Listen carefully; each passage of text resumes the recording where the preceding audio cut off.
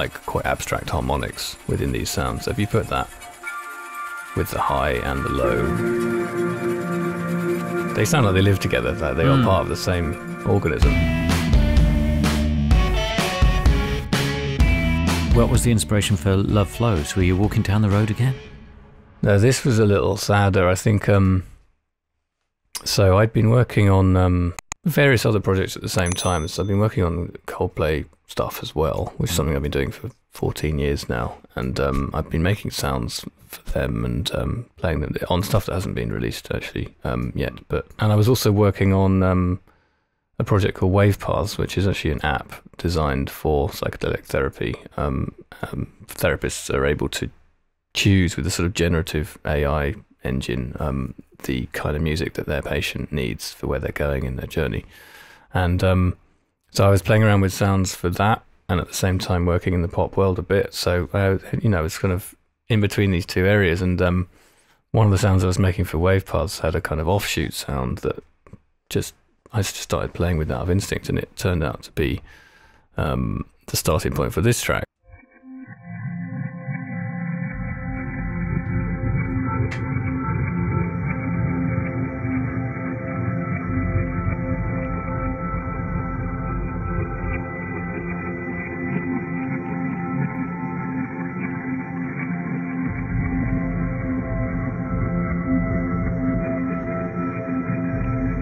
So that was once a piano,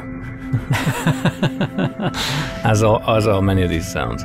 Um, and if if it works, I could just leave this playing and add the other Mm. elements in. Yeah. So That'd be great. so this is a good example of um, the thing I was just talking about with Welcome, where you have um, many elements that make up what's supposed to be one sound. So this is the low element, and then there's a high element.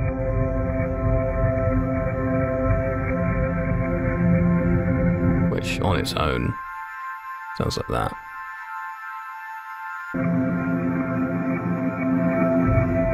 Um, so if I skip forward to where that's louder, you can hear there's this high element in there.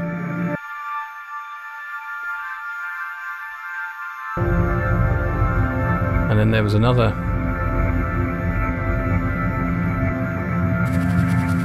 fluttery sound, which and to give it some life in the top end. Mm. I don't actually know what the origin of this sound was. Could be anything. And then to go with that, so that on its own, sorry, sounds like And it's moving around a lot, isn't it it? moves around a lot, yeah. And then there was its accompanying sound, which was made on a made on Ableton's vocoder originally. I think it's probably a vocoding of this ring mod sound. Um, there's a lot of notes in there. Actually, Yeah. kind of. I like this idea of um, using like quite abstract harmonics within these sounds. So if you put that with the high and the low, they sound like they live together. That they are Mm. part of the same organism. And wh- when you're creating them, Mm. um, do you disappear off trying to seek that high sound and then come back and then try it well, out with the, the deep sound? Yeah, well, I think um, maybe one of the most common methods I use is to take something that's there and then process it into the next thing. So it's possible that some of these sounds are version are Mm. you know versions of the original sound that have just been taken really far away from it. Because I found that, like I say, it almost doesn't matter what the source is if you're using this amount of processing. So then there's another sound called water layers, which this is really nice on its own actually. So because I, I found that this original sound, um, like it's very aquatic, um, and it has quite a lot of these unusual harmonics in it.